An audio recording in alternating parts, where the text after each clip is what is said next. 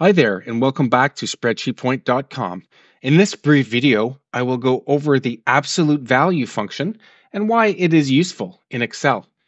So what is an absolute value? Basically, it's the function takes a number or looks at a number in a cell and it tells you the number regardless of the direction that it's going.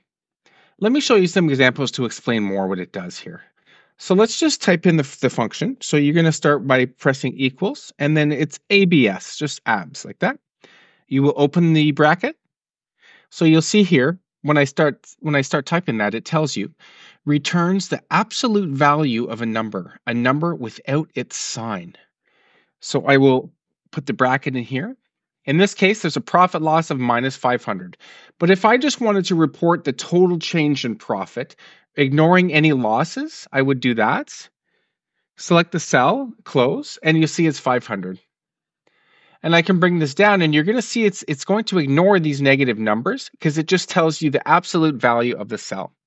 This may not seem too complex right now, but with instances where you have a very large data set and you want to learn the absolute value of numbers, it can be quite useful. I like this example here, the temperature change one.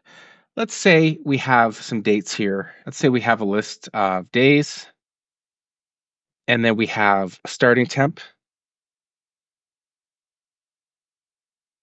and then ending temp.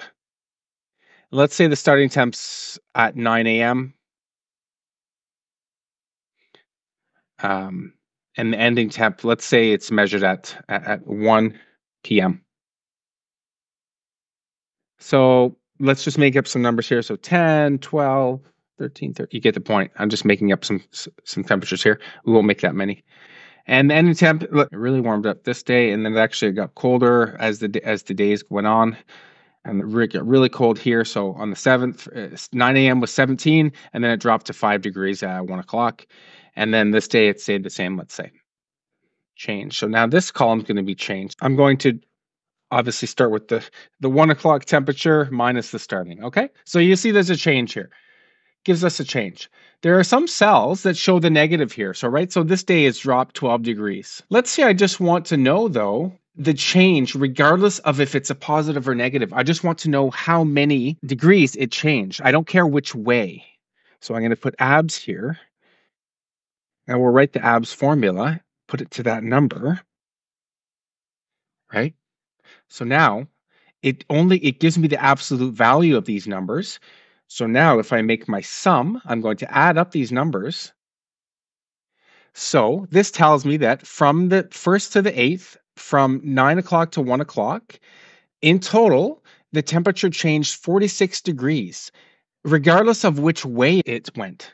Like if I sum these numbers, it's only going to give me six, right? Because it, it adds four, adds five, adds this five, adds a 12, then subtracts 3, subtracts 5, subtracts 12. I don't care about that. I just want to know overall how much the temperature has changed from my starting and ending points, and that's 46 degrees. That's how absolute value can be useful in Excel when you're working with large data sets. I hope you found this video useful.